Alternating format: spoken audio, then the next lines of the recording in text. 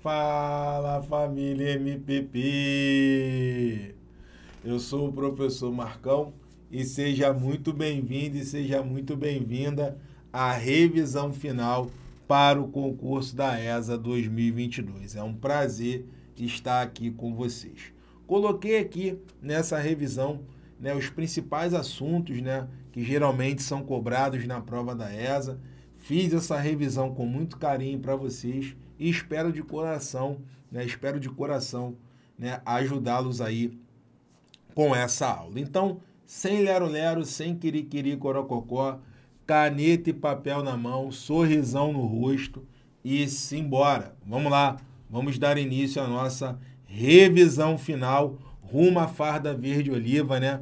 Rumo a ESA. Então, família, é isso aí.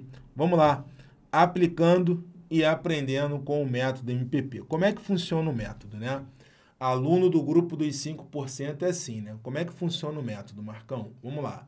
Eu quero pular o muro, mas eu quero entender o método MPP. Eu quero entender a metodologia de ensino de vocês, né? Claro, estou falando aqui para quem não é aluno, né? Esse recadinho aqui é para a galera que não é aluno. Então, como é que funciona? Vamos lá. Primeiro você interpreta, depois você resolve. Né? Primeiro você interpreta, depois você resolve. E para interpretar, nós utilizamos a primeira técnica do método MPP, que é o método dos 50 ou método das marcações. Com a primeira técnica, você sabe né, qual é o assunto da questão e você sabe o que o problema está pedindo. Então você já tem aí, né, meio caminho andado. Se você já sabe o assunto e você já sabe o que o problema está pedindo, você já tem aí 50% da questão. Por isso que o nome é método dos 50, né? O nome já é bem sugestivo. Legal? Então, família, vamos lá. Interpretando a questão. Método dos 50 neles. Repete aí na sua casa. Sublinhar para interpretar. Matemática é repetição. Vamos lá. Sublinhar para interpretar. Método 250 neles. Vem comigo. Vamos lá. Há no efetivo do rancho um total de sete cozinheiros e quatro arrumadores. Assinale a opção que determina quantas equipes distintas podemos formar com exatamente três cozinheiros e dois arrumadores. Vamos lá. Interpretando a questão através do método dos 50, ficou claro para a gente, pelo contexto da questão, que é um probleminha de análise combinatória sobre combinação. É um probleminha de análise combinatória sobre combinação. Marcão, como é que você sabe? Né? Essa é a minha maior dificuldade. Né? Como é que você sabe, através do método MPP, que esse probleminha aí é de combinação? Né? Através das palavras-chave. Né? Olha aqui a palavra-chave, equipes. Então, sempre que no probleminha você se deparar né, com essa palavra-chave, né, ou com palavras-chave similares, né, equipes, turmas, comissões, né? sempre nesse contexto né, de agrupamento de pessoas, ele quer formar grupos com pessoas, né? equipes, turmas, comissões. Cara, se deparou com uma dessas palavras-chave, não troque ideia. Né? É o gatilho mental. Pô, probleminha é de combinação. Legal já interpretei a questão. Aluno MPP é assim, ó. interpretou, resolve. Aí entra em cena a segunda técnica do método, que é a técnica R. Estudar, revisar e exercitar. Então, de tanto o aluno estudar, revisar e exercitar, lá no nosso curso da ESA, ele já sabe o que tem que fazer. Pô, Marcão, para resolver um probleminha de combinação, eu tenho que usar aqui o macete do abre e corta. Eu tenho que utilizar aqui o macete do abre e corta. Legal. Né? Então, eu já sei ali o que eu tenho que fazer. Né? já identifiquei o problema, combinação, e já sei ali a ferramenta, né? Eu já sei ali o macete que eu tenho que utilizar. Agora vamos lá, executando aqui a missão, ó. Como é que vai ficar aqui a parada? Vamos montar aqui a combinação, ó. Eu quero formar uma equipe com três cozinheiros. Só que três cozinheiros de quantos? De sete.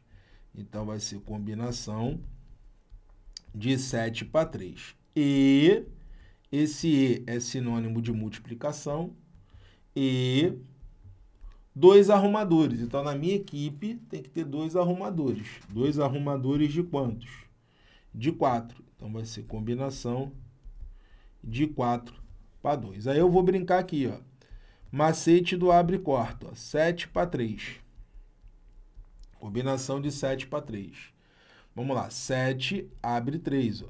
Aí eu vou abrir três números, ó. 7, 6 e 5. Abriu 3, divide por 3, ó. Que é 3 fatorial. Aí eu vou passar o facão do 6 de cima com o 6 de baixo. Pou, pou. Multiplicando ali o que sobrou, vai ficar 7 vezes 5, vai dar 35. Combinação de 4 para 2. Ó. ó, abre e corta. Combinação de 4 para 2. 4 abre 2. Ó. Aí eu vou abrir dois números. Ó. O 4 e o 3. Abriu, abriu 2, divide por 2. 2 fatorial, que é 2 vezes 1. Olha o nome do macete. Olha o nome da técnica. Abre, corta. Agora eu vou cortar. Cortar é a mesma coisa que simplificar. Ó. Pou, pou, 4 por 2 vai dar 2. 2 vezes 3 vai dar 6. Tudo lindo. Fatality, ó. 35 vezes 6. 35 vezes 6 vai dar 210. Gabarito, letra A. Marca o V da vitória e vai ser feliz. Então, primeira questãozinha foi de análise combinatória, né? Assunto combinação. Claro, na hora que você for revisar, né? Dá uma olhadinha também na parte de permutação, que a ESA também gosta, né? E a parte ali de arranjo. Principalmente aqueles probleminhas de PFC, né? Que envolve ali senhas, códigos, placas de automóveis, enfim. Legal? E na permutação, que a ESA sempre gosta, né? Você já sabe, né? Você que está estudando, é aquela parte de anagramas, beleza? Então essa é a dica, né? A orientação, né? Que eu tenho aí para passar para vocês sobre análise combinatória, beleza? Então passamos aí para a próxima questão. Vamos lá, toda questão vou sempre te dar aqui uma dica, né? Vou sempre tentar aqui passar para você alguma orientação. Vamos lá, família. Método MPP. Primeiro você interpreta, depois você resolve. E para interpretar, nós utilizamos a primeira técnica, que é o método dos 50. E o método dos 50 você já sabe, né? Funciona assim, ó. Sublinhar para interpretar. Então vamos lá, para cima deles, ó. Começando aqui a próxima questão. A figura abaixo fornece a representação gráfica da função y é igual a log de x na base b. Nestas condições, o valor de b é... Então, vamos lá, família. Olhando aqui, né, é um probleminha, né, interpretando, é um probleminha sobre função né, logarítmica. Né? Isso aí ficou muito claro para a gente, né? Pelo formato aqui da função, você já sabe que é uma função logarítmica. Legal. Então, eu já interpretei a questão, né? E ele quer o que na questão? Ele está querendo o valor do B. Ele está querendo saber ali a base do logaritmo. Legal. Já interpretei. Interpretou, resolve. Aí entra na jogada a segunda técnica. Com a segunda técnica, você vai aprender a forma correta de se resolver essa questão. Então, de tanto você estudar, revisar e exercitar, aluno do grupo dos 5%, aluno do curso da ESA é assim, ó. Ele faz ali vários exercícios. Então, de tanto ele praticar, ele já sabe o que tem que fazer. Pô, questãozinha de função, né? Pô, aí ele vai lembrar do mantra MPP. Pô, qual é o mantra MPP para questões né, de função? Pô, função rima com substituição. Função rima com substituição. Então, para encontrar o valor do B, eu vou usar o mantra MPP. Olha como a questão vai ficar fácil. Y é igual a log de x na base B. Aí eu vou usar o mantra MPP. Ó. Aí eu preciso aqui das coordenadas. Ó. Olha esse ponto aqui ó, que eu marquei de amarelo. O que, que significa né, isso daqui? Ó? Quando o y é menos 1, o x é 0,25. Então, eu vou usar essas coordenadas aqui na função para encontrar o valor do b. Então, vamos lá. Função rima com substituição. Aí eu vou substituir os valores. Ó, menos 1, ó, o y vale menos 1. Ó. Então, vai ficar menos 1 igual a log de 0,25, que é o valor do x correspondente, na base b. Aí um abraço, né? Aí um abraço, né? Aí você vai usar aqui né, o bizu do logaritmo. Ó, princípio da voltinha. Ó, b elevado a menos 1 tem que ser igual a 0,25. Aí eu vou brincar aqui, né? Matemática básica. É expoente negativo, eu tenho que inverter. Então vai ficar 1 sobre b é igual a 0,25. 0,25 é a mesma coisa que 1 quarto. Cruzou, B vai ser igual a 4. Então, questãozinha argentina, né? Olhando ali as opções, gabarito, letra D. Marca o V da vitória e vai ser feliz. Deixa eu tirar aqui, né? O som do celular para não atrapalhar. Vamos lá. Próxima questãozinha. Olha aí. Método 250 neles. Você já sabe, né? Interpreta, resolve. Já está no sangue. Então, vamos lá. Aplicando aqui a primeira técnica do método. Considerando o número complexo tal, tal, tal, o valor de z elevado a 1983 é...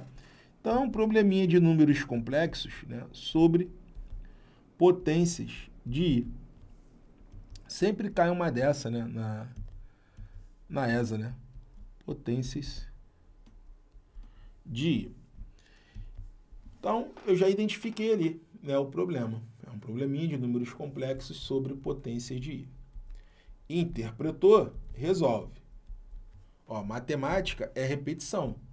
Você vai ver, ó, da primeira à última questão, eu vou seguir o processo, eu vou seguir o método. Né?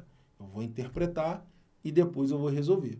Aluno MPP, aluno do grupo dos 5%, não é um aluno agoniado. Né? Ele sabe o que está fazendo na prova, ele vai seguir ali o padrão. Né? Já é vida na caserna, né? O militarismo é assim, né? Você tem que seguir ali né, o padrão, seguir as normas, né? seguir as regras. Então, é assim que funciona também para você ter um bom rendimento nos estudos. Você tem que seguir. Você não pode inventar. Ó. Interpretou, resolve. Vamos lá.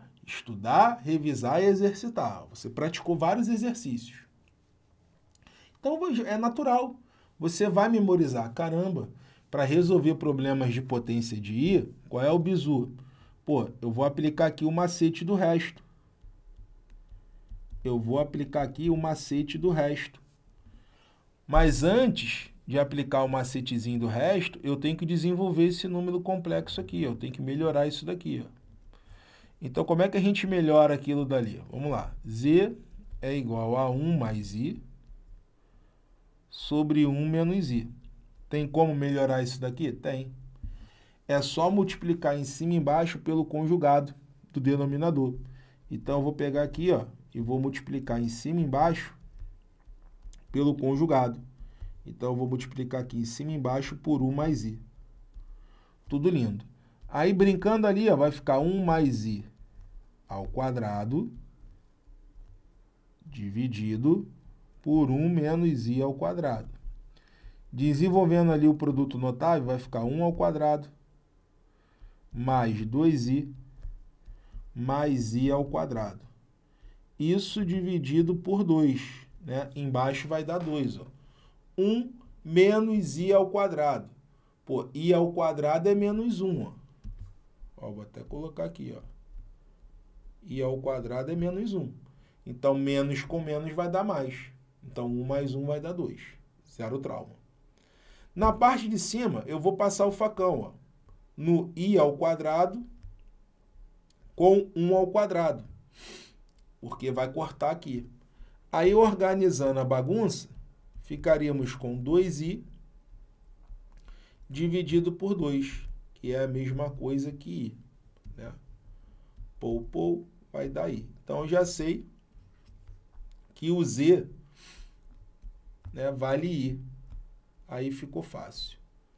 z elevado a 1983 é a mesma coisa que i elevado a 1983. Agora eu posso aplicar aqui ó, um macete do resto. Primeira coisa que você tem que fazer aqui é pegar o expoente da potência e dividir por 4.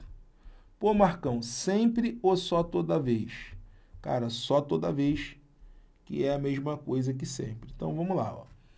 Vai dar 19 por 4 vai dar 4.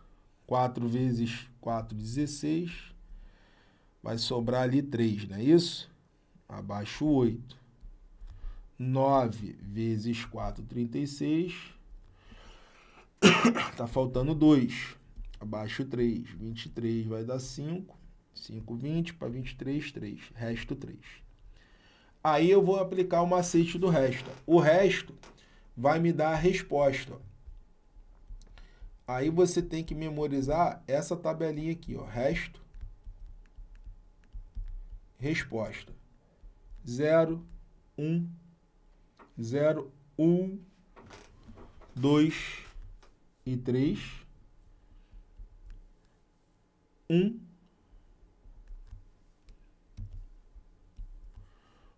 um e menos 1, menos i. Aí você vai olhar, se o resto for zero, a resposta é 1. Se o resto for 1, a resposta é i. Se o resto for 2, é menos 1. Se o resto for 3, é menos i. Então, como o resto aqui foi 3, então a resposta é menos i. Legal? Então, o resultado daquela potência ali é menos i olhando as opções, gabarito letra D. Legal? Então, nessa parte de números complexos, né, você vai dar uma olhada lá em potências de I, se você tem dificuldade, e dá uma olhadinha também com carinho na parte de argumento, tá? Não costuma cair, mas se você já prestou atenção nas provas da ESA, sempre cai uma ou duas questões atípicas, né? E pode acontecer isso de cair essa parte ali de argumento. Mas se cair, vai cair uma coisa muito básica, tá? Muito básica mesmo. Não se aprofunda muito, não. Só dá uma olhadinha para se cair, você tá ali, né? Protegido. Beleza? Então, do número complexo, passamos para a próxima questão. Vamos lá. Interpretou, resolve. Interpretou, resolve. Matemática é repetição. E para interpretar, método 250 neles. Ó. Vamos lá. Numa pesquisa com 100 pessoas em um mercado, verificou-se o consumo de três marcas de café, A, B e C, que apresentou os seguintes resultados. Ó. 60, produto A, 51 o B, 15 o C, 5 os três, 11 A e B, e 10 B e C. Sabendo-se que cada entrevistado gosta de pelo menos uma marca, a probabilidade das pessoas consumirem simultaneamente os produtos A e C sem consumir o B é. Então vamos lá, família. Deixa até eu sair daqui, ó, para ter espaço, né? Vamos lá. Qual é a jogada aqui? Interpretando a questão, é um probleminha de probabilidade junto com a ideia de conjuntos. Né? Na mesma questão, você tem ali a ideia de probabilidade associada à ideia da teoria dos conjuntos. Né? Então, eu já analisei ali a questão, já interpretei, já sei qual é o assunto e já sei ali o que o problema está pedindo. Ele está querendo a probabilidade né, das pessoas consumirem simultaneamente os produtos A e C sem consumir o B. Então, eu já sei ali o que o problema está pedindo. Legal. Interpretou, resolve. Aí entra em cena a segunda técnica. Técnica R. Estudar, revisar e exercitar. Então, de tanto você estudar, revisar e exercitar esse assunto, lá no nosso curso da ESA, no grupo dos 5%, você já sabe o que tem que fazer aí, né? Pô, Marcão, para achar o que ele está querendo, que é a interseção, né, de A e C, né? Para eu achar ali a galera que consome o A e o C sem consumir o B, eu preciso achar né, a interseção de A com C para poder encontrar aquele resultado ali. E como é que eu vou encontrar essa interseção? Aplicando aqui uma formulazinha, né? Uma malandragem. Eu não vou nem montar o desenho agora. Eu vou aplicar a fórmula. Como é que é a fórmula? Ó, A união B união com C é igual a número de elementos de A mais B mais C menos I2 mais I3. Vamos lá, o que, que seria I2? I2 é a interseção 2 a 2. O que, que seria I3? É a interseção dos três. Aí eu vou substituir. Eu vou substituir. Ó. A união B, união C. É, aí eu vou somar aqui, ó, 60. Eu vou somar aqui, olha, eu vou pegar aqui, ó, 100. Né? Seria o 100. Ele já está me dando ali. 100 pessoas foram entrevistadas é igual a A mais B mais C. Aí sim, ó. 60 mais 51 mais 15. Aí eu já vou fazer essa continha aqui direto. Isso aqui vai dar 126. Menos I2, ó. I2 é a interseção 2 a 2, ó. 11 mais 10, né? 21. Então vai ficar menos 21. Menos X. Por que menos x? O x seria a interseção de A. Olha, ele não está me dando. O x seria a interseção de A com C, tá? Então, como ele não está me dando, eu chamei de x. Então, aqui vai ficar menos 21 menos x. Mais I3. I3 seria a interseção dos três, que no caso é 5. Aí virou continha, né?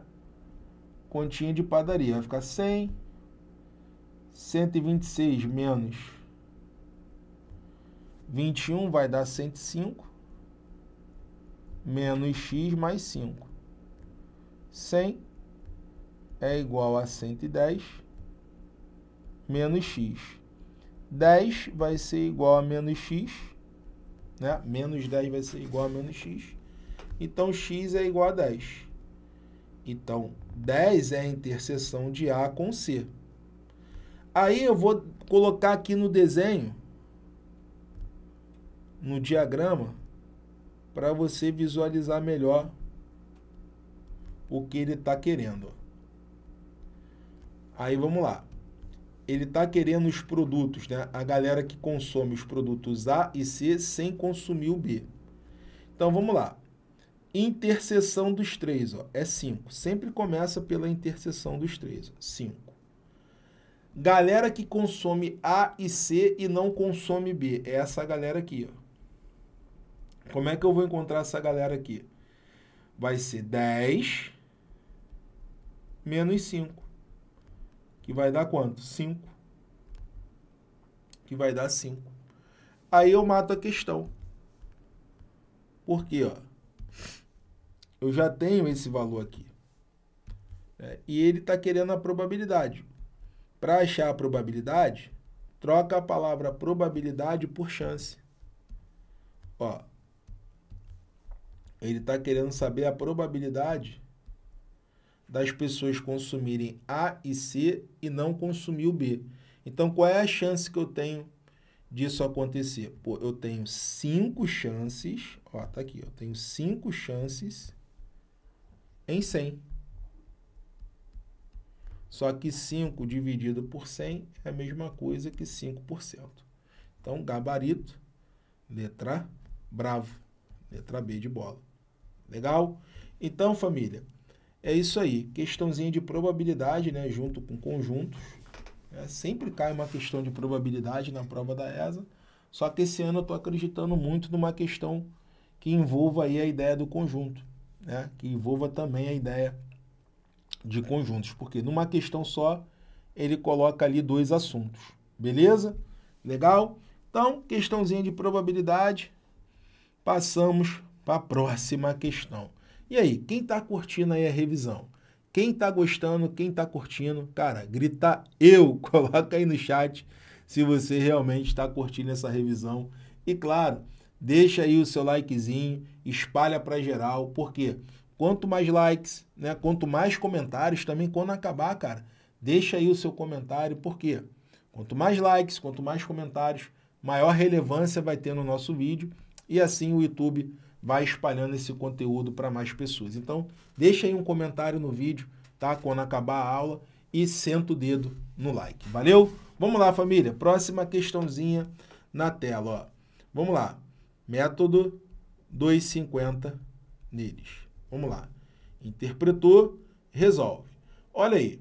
Calculando-se o volume de uma esfera circunscrita a um cone equilátero, cujo raio da base mede raiz de 3, obtém-se, vamos lá, interpretando aqui, ó, falou em esfera, falou em cone, cilindro, pirâmide, paralelepípedo, pô, isso é uma questão de geometria espacial. É uma questãozinha de geometria espacial. Legal. E ele está querendo o quê, Marcão? Ele está querendo saber o volume da esfera circunscrita. Legal. Já interpretei aqui a questão. Ó. Deixa eu voltar até para o cantinho aqui da maldade. Já interpretei a questão. Interpretou, resolve. Aí entra a segunda técnica. Estudar, revisar e exercitar. Então, qual é a malandragem aqui, Marcão? É você saber transformar. Vai rolar aqui uma transformação.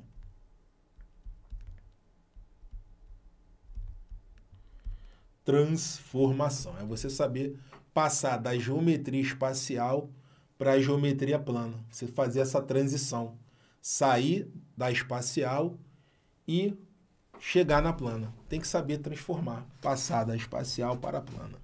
Vamos lá, como é que a gente vai fazer isso, família? Vamos lá. Se liga. A esfera, na plana, ela vai virar um círculo, né? Ela vai virar uma circunferência. E o cone equilátero vai virar um triângulo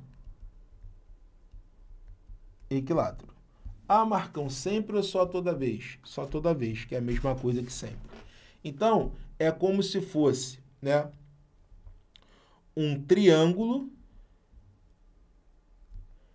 dentro de um círculo, tá? É como se fosse isso aqui, ó. Transformando, né, para plana, seria isso daqui. É um triângulo dentro de um círculo. E ele está querendo saber aqui, e ele está querendo, né, o valor do volume da esfera. Mas para encontrar esse volume da esfera, eu preciso do raio. Como é que eu vou descobrir esse raio aqui? Né? Agora que são elas. Ó. Volume da esfera é 4 terços de πr ao cubo. Então, eu preciso desse raio aqui. Qual é a malandragem? Vamos lá. Como o triângulo é equilátero, como o triângulo é equilátero, o raio vai ser igual a 2 terços da altura, né? porque ali é o baricentro, então ele está a 2 terços do vértice. É legal? Então, o raio é 2 terços da altura. Sempre, tá legal? Se o triângulo for equilátero, o raio da circunferência circunscrita pega a visão. É 2 terços da altura. Beleza? E como aqui é um cone equilátero, você já sabe que a base do triângulo vai ser igual ao diâmetro do círculo do cone. Ou seja, vai ser igual a 2 raiz de 3. Como o triângulo é equilátero, né, ele tem três lados iguais. Aí eu consigo matar a questão. Por quê? A altura. Como é que a gente encontra a altura do triângulo equilátero? É lado que multiplica a raiz de 3 sobre 2, não é isso? É lado que multiplica a raiz de 3 sobre 2. Então, a altura vai ser igual a 2 raiz de 3 vezes a raiz de 3 sobre 2. Vou passar aqui o facão, ó. Pou, pou. A altura vai ser igual a 3, né? Porque vai dar raiz de 9, então a altura é igual a 3. Então, se eu tenho a altura, eu tenho raio. Ó, raio vai ser igual a 2 terços de 3. Então, o raio, ó, pou, pou, não tá lento, hein? Sem gritaria. O raio é igual a 2. 2 o quê? Centímetros. Aí eu consigo matar a questão. Porque se eu tenho raio, eu tenho volume. Então, vai ficar volume vai ser igual a 4 terços de πr ao cubo. Volume vai ser igual a 4 terços de π vezes 8. Então, volume vai ser igual a 32π sobre 3 centímetros cúbicos. Gabarito, letra E. Legal?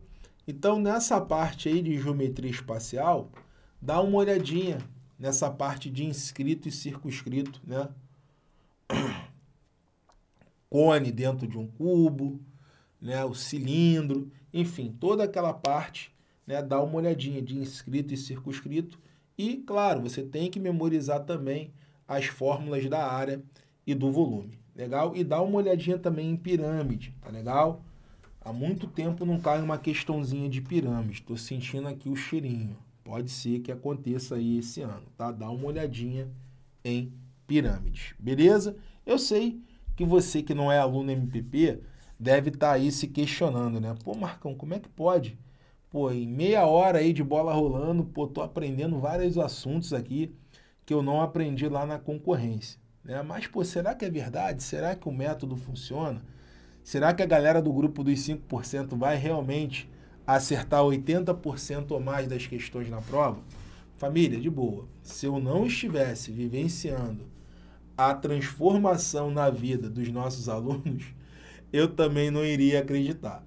E para mostrar para você que eu estou falando a verdade, que o nosso curso realmente é um curso de excelência e o método funciona, olha isso aqui, ó. Esse é o nosso combustível, né? Uma imagem vale mais que mil palavras, né? Isso aqui é o nosso aluno Victor, né? Que foi aprovado aí no último concurso da ESA. Né? E tá aqui, ó. Já tá aqui com a fardazinha dele, ó. Né? Já tá aqui com a farda, ele tava lá na fronteira Brasil e Argentina. Então, cara, é o sonho, né, virando realidade. E eu até me emociono, cara, porque eu já tive aí do outro lado, já fiz, né, já fui militar, eu sei como é que é a angústia, né? Eu sei o que você está passando. Cara, e a gente trabalha para isso, né? Para transformar o sonho em realidade. Então, se você está né, visando, né, obviamente, né, tô falando para a galera já para o ano que vem. Agora não adianta, né, a prova é final de semana, mas se você está assistindo esse vídeo aqui quer se preparar para o próximo concurso da ESA, tá? Tá aqui o nosso curso específico. O que, que nós oferecemos? Nós oferecemos um curso de matemática básica, um curso de nivelamento, um curso completo de matemática para ESA. Você vai ter acesso aqui a um suporte tira dúvida do aluno. Você vai ter acesso a um estudo dirigido no final de cada aula. Você vai ter acesso né, a uma mentoria comigo e com o Renato, com toda a nossa equipe. Você vai ter acesso né, a um grupo do WhatsApp. Né, você vai ter contato ali com guerreiros e guerreiras que estão caminhando no mesmo sentido que você. Né, outras amizades, né, são pessoas né, qualificadas ali, pessoas que estão com um propósito igual ao seu. Né, ali você vai poder trocar ideia com a galera, né, não só sobre matemática. Né, Pô, vocês conhecem um professor legal de português, você vai ter contato ali como eu falei, com pessoas que estão caminhando no mesmo sentido que você. Então, isso daqui é muito legal. Além disso, quatro bônus: 27 simulados, 9 e-books, 10 simulados no sistema Training Time, né, que retratam ali a realidade da prova, as questões são temporalizadas, e a resolução né, das últimas provas de história da ESA. Então, se somássemos, né, aí é a continha de padaria, né? Se somássemos aqui tudo Pô, o curso né, seria mais de dois mil reais. Mas hoje você está levando tudo isso por 12 de 26,58. Cara, menos que uma pizza do final de semana. Agora é com você. Se você já está estudando para o próximo concurso, quer antecipar, tá aí a oportunidade. O Júnior está colocando o link do curso aqui. Né? A antecipação vai fazer toda a diferença. O erro né, o principal erro que a maioria comete, né, é esperar o edital sair e falando em ESA, né, cara, não tem como, é humanamente impossível você estudar faltando aí alguns meses para a prova. Tem que começar agora. Beleza? Então, tá aí, já fiz o jabá. né? Quem está assistindo depois, o vídeo fica, né, o link fica aqui na descrição do vídeo. E vamos que vamos. Continuando aqui com a nossa revisão. Vamos lá. Próxima questãozinha na tela. Interpretou, resolve, né? Repetição, método 250 neles. Primeiro, interpreta. Vamos lá. Sejam as funções reais f de x e g de x, f de x igual a x mais 2 e f de g de x igual a x sobre 2 pode-se afirmar que a função inversa de, x, de, de g de x é... Então, vamos lá. Duas em uma, né? Aqui é uma questão de função composta com função inversa. Como é que eu sei que é função composta? Ó, f de g de x, né? Uma função dentro da outra. Então, você já sabe que ali tem função composta. Beleza. E ele está querendo o quê? Ele está querendo a inversa da função g. Pô, lindo, já interpretei. Interpretou, resolve. Aluno MPP é assim, ó. Interpretou, resolve. Aí entra na jogada a segunda técnica. Ó, estudar, revisar e exercitar. Então, de tanto o cara estudar, revisar e exercitar, ele já sabe, caramba, o que tem que fazer aí. Pô, falou em função, cara falou no mantra MPP. Função rima com substituição. Função rima com substituição. Então vamos lá, executando aqui a missão. Primeira coisa, eu vou descobrir qual é a lei de formação da função composta f de g de x. Como é que eu vou descobrir a função f de g de x? aonde tem x na função f, eu coloco o g de x. Então vai ficar ali, ó, no talento. F de x, f de g de x vai ser igual, ó, vai ser igual a g de x mais 2. Olha que legal. Então já sei qual é a função f de g de x. Então f de g de x é igual a g de x mais 2. Então eu já tenho aqui uma igualdade eu já sei que g de x mais 2 tem que ser igual a x sobre 2. Tem que ser igual a x sobre 2. Aí eu vou descobrir a função g. Ó, g de x vai ser igual a x sobre 2 menos 2. Acabou. Se eu tenho a função g, eu consigo encontrar a inversa. Aí eu vou substituir aqui, ó. g de x é a mesma coisa que y. Então, vai ficar y igual a x sobre 2 menos 2. Para encontrar a inversa, olha o nome, inversa, você vai ter que inverter. Você vai ter que trocar as posições do x e do y. Então, aqui vai ficar x igual a y sobre 2 menos 2. Caramba, Marcão, legal. Então, vai ficar ali x mais 2 igual a y sobre 2. Vou jogar o 2 para o outro lado multiplicando. Então, vai ficar 2x mais 4 igual a y. Então, essa é a função inversa da função g. Então, a notação seria essa daqui, ó. g elevado a menos 1 é igual a 2x mais 4.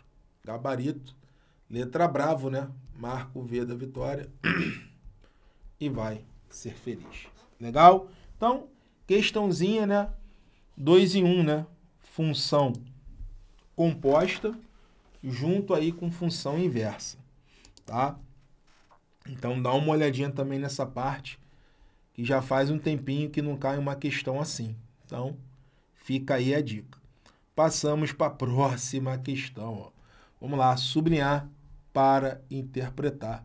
Método 250 deles. Vamos lá. Um triângulo isósceles ABC tem base BC igual a 16 e lados congruentes AB e AC igual a 17. O raio do círculo inscrito ao triângulo ABC é igual... Vamos lá. Qual é a jogada agora, família? Interpretando aqui, é uma questão de geometria plana. Né? É uma questãozinha de geometria plana triângulo isósceles, círculo inscrito. Então, pelo contexto, é uma questãozinha de geometria plana. Para resolver, entra em cena a técnica R. Então, qual é a malandragem aqui para resolver essa questão? É você lembrar da fórmula da área do triângulo, do triângulo circunscrito a um círculo, né? Um triângulo circunscrito ao círculo.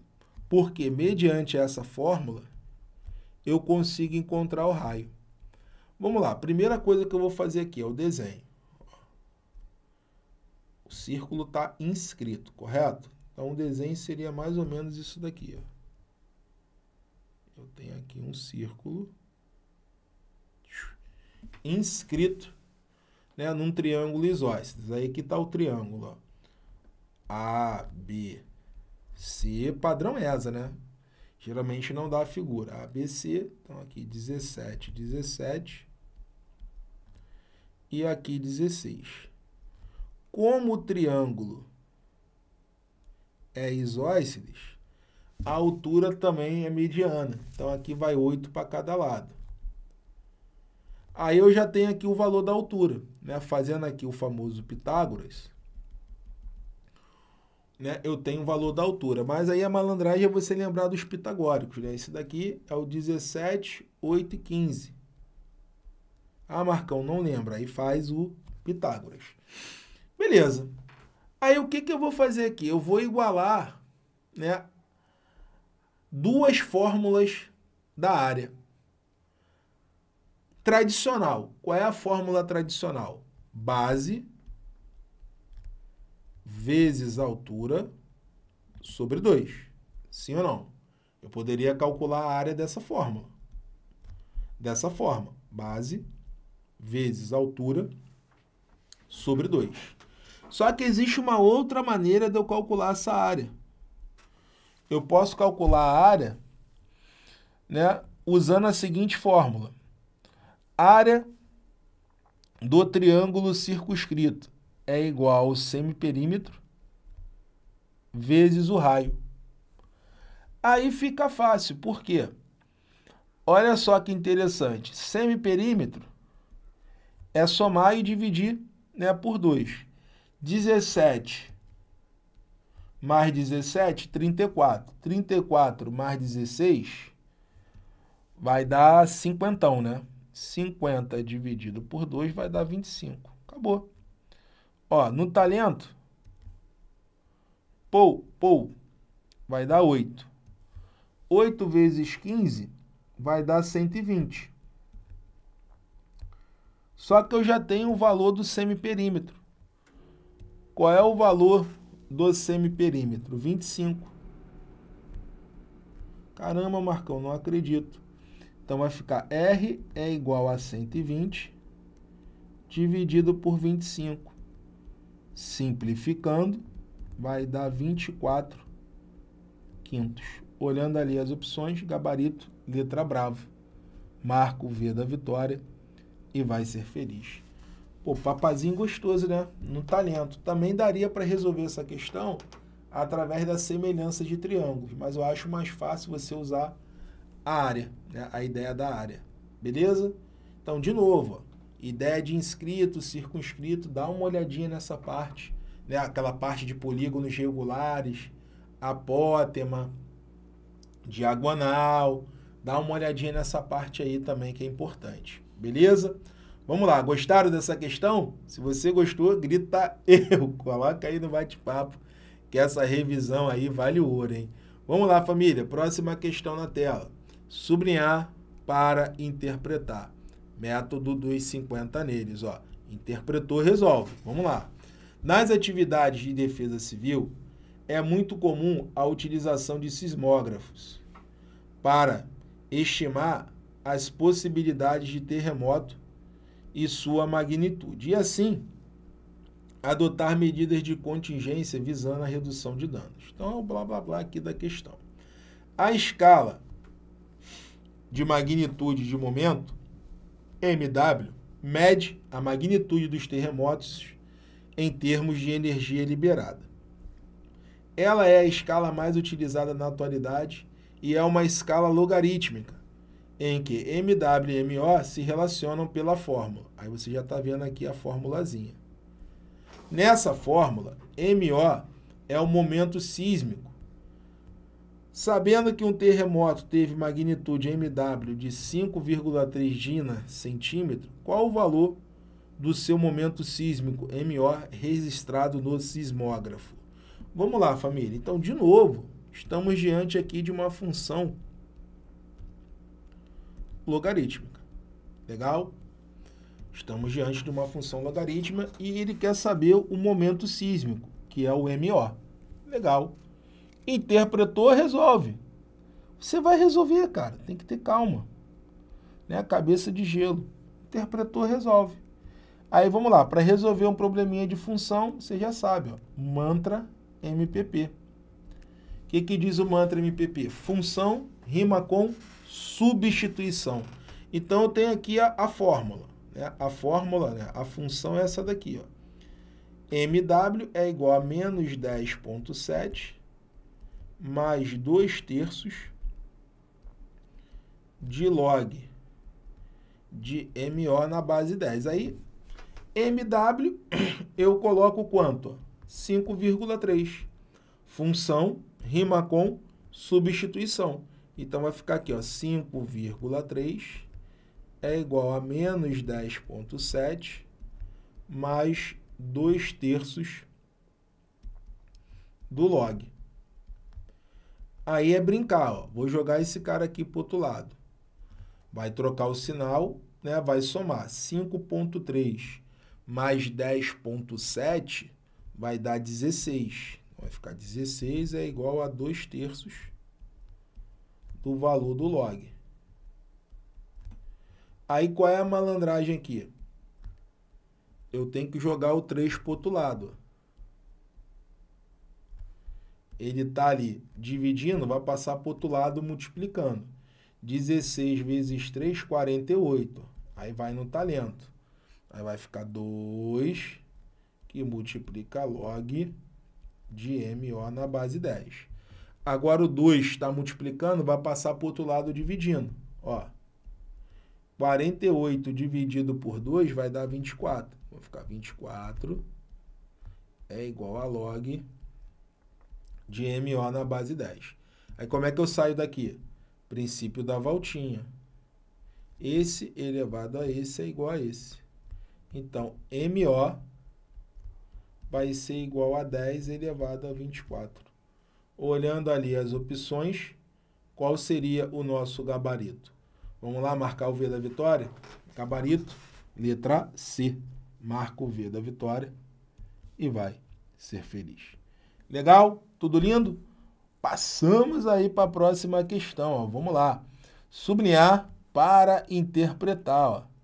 Método dos 50 neles. Primeiro interpreta, depois resolve. Ah, Marcão, tá ficando chato isso, cara. Aí você tá aprendendo. Matemática é assim, ó. é repetição. Quando tá ficando chato é porque você tá aprendendo. Vamos lá. Encontre o valor de K para que o resto da divisão de P de x por 2x menos 6 seja igual a 5 e marque a opção correta. Então, analisando aqui, é uma questãozinha de polinômios. Né? Você já sabe que é uma questãozinha sobre polinômios. E ele está querendo saber o valor do K. Né? Ele quer saber o valor do K. Já interpretei aqui a questão. Interpretou, resolve. Aí entra a segunda técnica. Então, com a segunda técnica, você vai aprender a forma correta de se resolver essa questãozinha de polinômio. Então, para resolver esse probleminha de polinômio, você vai ter que usar aqui o teorema do resto. Teorema do resto. Legal?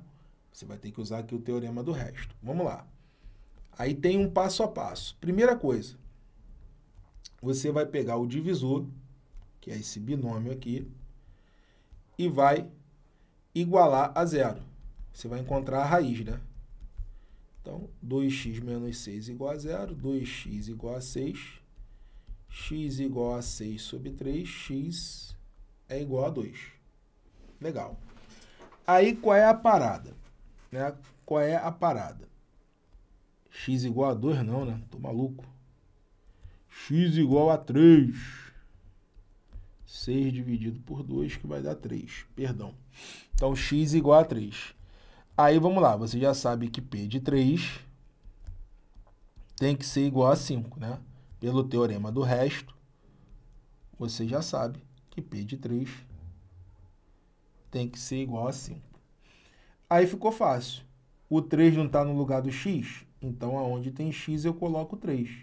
Vai ficar 5 vezes 3 ao quadrado menos 4 vezes K vezes 3 mais 2. Então, esse é o P de 3, só que isso daqui tem que ser igual a quanto? A 5. Um abraço, né? Vai ficar 5 vezes 9, 45. Menos 4 vezes 3 vai dar menos 12. Mais 2 igual a 5. 47 menos 12K é igual a 5. Menos 12K é igual a menos 42. Menos com menos dá mais. Então, vai ficar 42 sobre 12. Simplificando aqui por 6, vai dar 7 meios. Então, esse é o valor do K. Olhando ali as opções, gabarito, letra brava, marca o V da vitória e vai ser feliz. Então, família, polinômios, né? Dá uma olhadinha nas relações de Girard, Briot-Ruffini, né? Dá uma olhadinha em Briot-Ruffini, né? E essa parte aí, né, do teorema do resto, se você ainda está com alguma dúvida. Beleza? Dá uma olhadinha, que isso é muito importante. Legal? Então, saímos do polinômio. Vamos lá, engole o choro e se embora. Passamos para a próxima questão. Ó. Método MPP. Ó. Sublinhar para interpretar. Método 250 neles. Ó.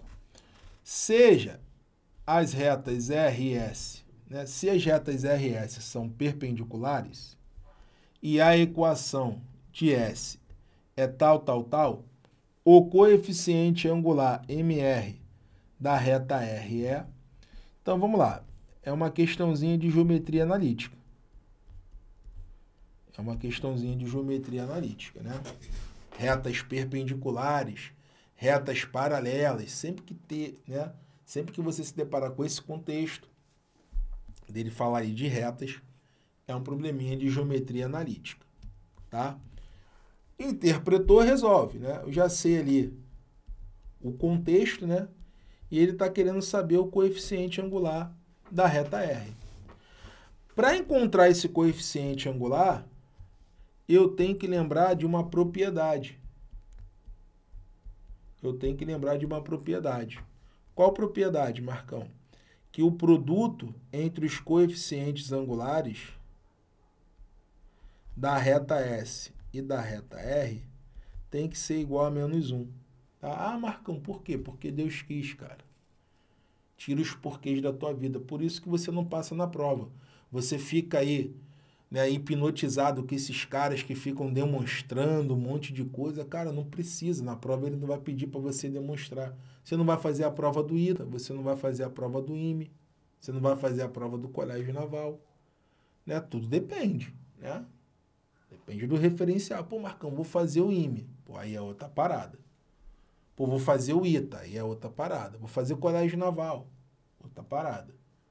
Pô, agora aqui, cara, questões objetivas. Não tem que ficar nessa de ficar, ah, o cara sabe muito, o cara, cara, pelo amor de Deus. Papum, tá? É papum, tá? Então é isso. Tem que memorizar essa propriedade aqui. Aí o que, que eu vou fazer aqui? Eu vou isolar o y. Ó, 2y mais x menos 2 é igual a zero. Então, para descobrir o coeficiente angular da reta S, eu vou isolar o y. Então, vai ficar 2y igual a menos x mais 2. y vai ser igual a menos x sobre 2 mais 1, né? Porque 2 dividido por 2 vai dar 1 coeficiente angular é esse carinha aqui que está colado no x. Então, o coeficiente angular da reta S é menos meio. Aí um abraço, vai ficar menos meio vezes MR igual a menos 1.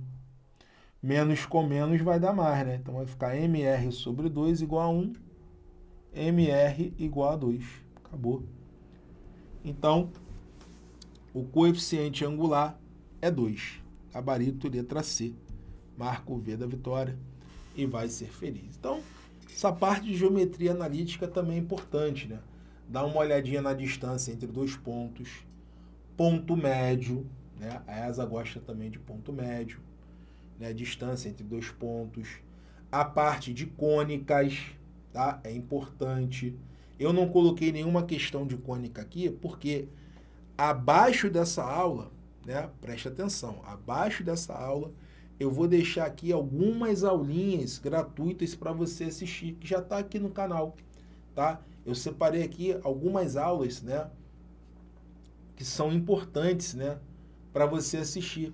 É bom você dar uma olhadinha nessas aulas. Então, assim que você acabar o simulado, né, você fizer a revisão do simulado, dessa revisão, né, do simulado não, né, tô maluco, fazer, né, você acabar de fazer aqui a revisão final, você assista, né, você tem que assistir essas aulas, tá? Vou deixar aqui algumas aulas para você assistir na descrição do vídeo, beleza?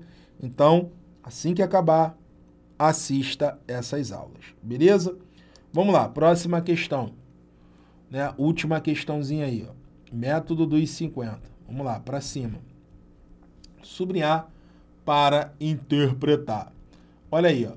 Marque a opção que apresenta o quarto termo do binômio tal, tal, tal. Então, é uma questãozinha de binômio de Newton. É uma questãozinha sobre binômio de Newton. É, a gente está esperando aí todo ano uma questão de binômio e uma questão de cônica. Pode ser que esse ano caia. É, e para saber né, para resolver, né, interpretou, resolve. Para resolver, você tem que lembrar né, de uma formulazinha. Aí não tem jeito, tem que memorizar a formulazinha. É bem mecânico, tá? Isso aqui é mecânico. É fórmula. Então a fórmula para você encontrar algum, né, qualquer termo, né, desse binômio é essa daqui, ó. Tá aqui o binômio, ó, A menos B elevado a N. Aí você tem aqui a formulazinha, T, P mais 1 é igual a combinação de N para P, que multiplica menos B elevado a P, vezes A elevado a N menos P. Então, vamos lá, aí é, é, posição, né? É posicionamento. Mas vamos lá, quem seria o P? O P, repete aí na sua casa, é sempre um a menos. Né? Se ele está querendo o décimo termo, o P é o 9. Se ele está querendo o oitavo termo, o P é 7. É sempre um a menos. Então, como aqui ele está querendo o quarto termo, então o P, ó, o P vale 3. O P é sempre um a menos. Legal? O N, quem é o N? O N é o expoente. Você já sabe, o N é o expoente. Ó, tá ali, ó. O N vale 5. O N é o expoente. Só estou separando ali os ingredientes para facilitar a nossa vida. Legal. O B. O B é quanto? O B é 5. Não é isso? O B é 5. Esquece o sinal, tá? Esquece o sinal. Só olha o número. O B é 5. Tá aqui, ó. O B é 5.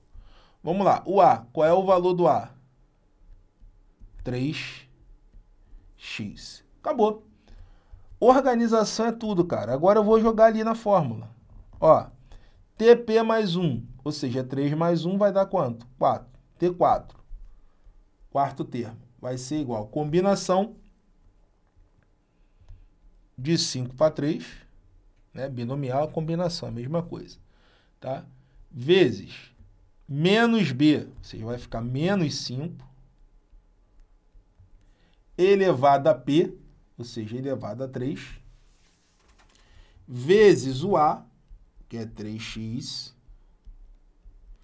elevado a n menos p, n menos p, ou seja, 5 menos 3 vai dar 2. Acabou, cara. Vamos lá. Combinação de 5 para 3. 5, abre 3. 5, 4, 3. Abriu 3, divide por 3. 3 vezes 2 vezes 1. Facão. Pou, pou, pou, pou. Então, combinação de 5 para 3 vai dar 10. Então, vou colocar aqui o 10. Ó. Menos 5 elevado ao cubo vai dar menos 125. E 3x ao quadrado vai dar 9x ao quadrado. Multiplicando aqui, vai dar 10 vezes 125 vezes 9. Vai dar... Deu chabum aqui no negócio. 125 vezes 10 vezes 9 vai dar 11,250, né? Vai dar menos 11,250 x ao quadrado. Olhando ali as opções, gabarito, letra bravo. E essa foi a nossa última questãozinha. Ah, Marcão, não acredito que essa aula de revisão acabou. É isso aí, família.